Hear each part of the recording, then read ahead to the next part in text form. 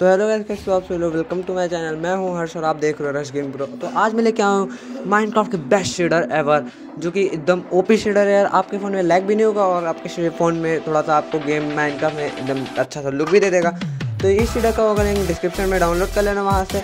और मैं आपको बता भी सकता हूँ और सारी चीज़ें दिखा देता हूँ कि कैसा है इसका मतलब टेक्स्चर और सब कुछ तो दिखा देते हैं तो बढ़ते हैं। तो भाई ये शेडर ओपी शेडर है यार लैग भी फिक्स कर देता है क्योंकि मेरा माइनक्राफ्ट यार, मैं फोर जी रैम में खेलता था, तब भी मेरा माइनक्राफ्ट लैग मारता था यार, हल्का फुल्का F P S drop down होते थे, बहुत ज़्यादा एफ़ पी एस होते थे। बट जब से मैंने ये शेडर यूज़ करना स्टार्ट किया, तब से भाई बस F P S drop down कभी कभार हमें दिख जाते हैं, क्योंकि हल्का फुल्का F P S drop down तो कहीं भी दिखना है यार Minecraft one point nineteen है तो लैग या फिर F P S drop down तो मिल नहीं है। तो यार आप देख सकते हो पानी का टेक्सचर जो वाटर का टेक्सचर है भाई, एकदम अच्छा नहीं आ रहा है। काम भर का बस ठीक ठाक है यार टेक्सचर पैक इसका।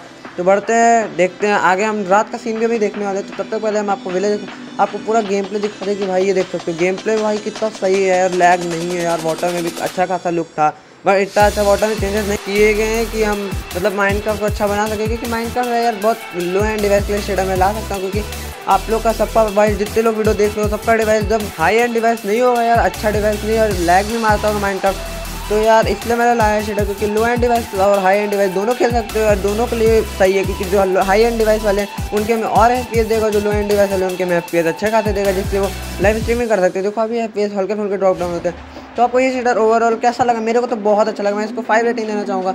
और आपको कैसा लगा? मेरे को कमेंट में ज़रूर से बताना। वीडियो को लाइक करना चैनल को ज़रूर से सब्सक्राइब कर देना और बेल आइकन को ज़रूर से प्रेस कर देना।